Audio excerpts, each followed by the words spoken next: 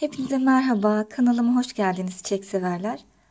Sizlere orkide hakkında bilgi vermek istiyorum. İki tane orkide var ve bunları karşılaştırarak bilgi vermek istiyorum. Çok konuşmadan önce bir güzelliğini size göstereyim. Evet, şöyle süzeyim. Bu çiçek açmış bir orkide. Bakın. Bu da arkadaşlar çiçek açmamış hatta çiçeğini dökmüş bir orkidemiz. İki çeşit orkide varmış. Ben de e, öğrendiğimde çok şaşırmıştım. Yazın açan ve kışın açan orkide diye arkadaşlar. Yani her mevsim çiçekçilerde gördüğümüz orkidenin sebebi buymuş çiçek açan sebebi. Bunu ben arkadaşlar yıllar önce bir 5 yıl kadar önce e, hepinizin bildiği marketlerden bir marketten almışım. Market zincirinden almışım. Mayısa gibi. Şimdi inceleye inceleye yani aç aça yıl yıl ben bunun özelliğini anladım.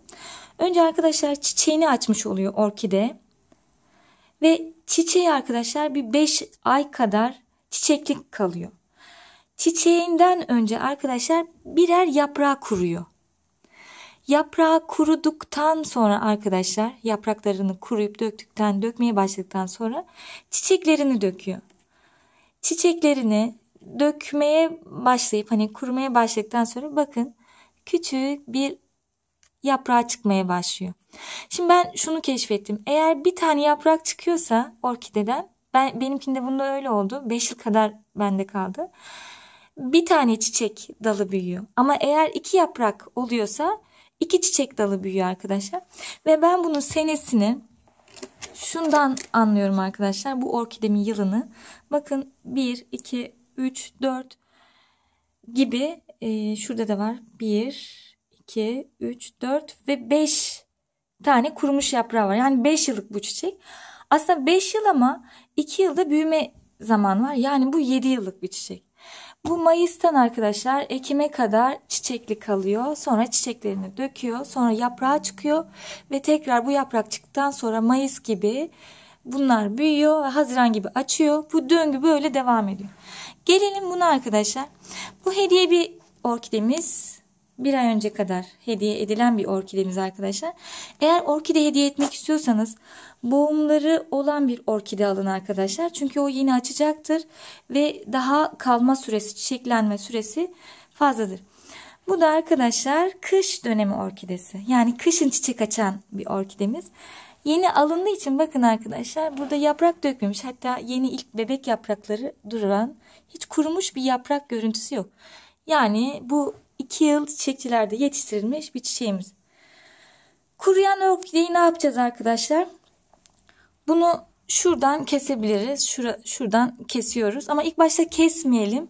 Çünkü şu boğumlardan tekrar bir orkide çıkabilir. Bakın şunda olduğu gibi burada bir yan dal çıkmış.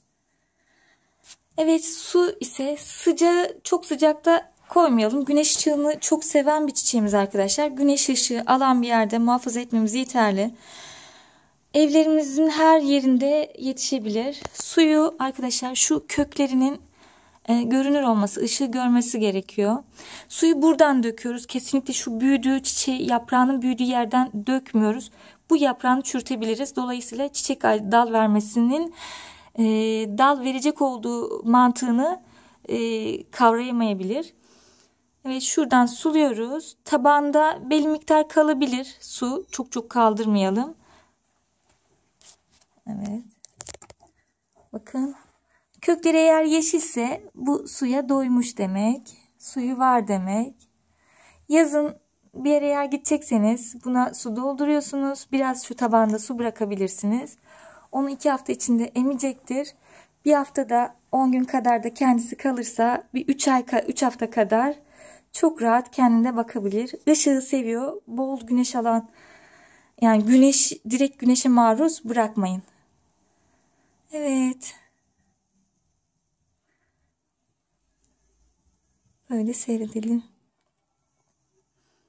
Hepinize saygılar. Kanalıma abone olmayı unutmayın.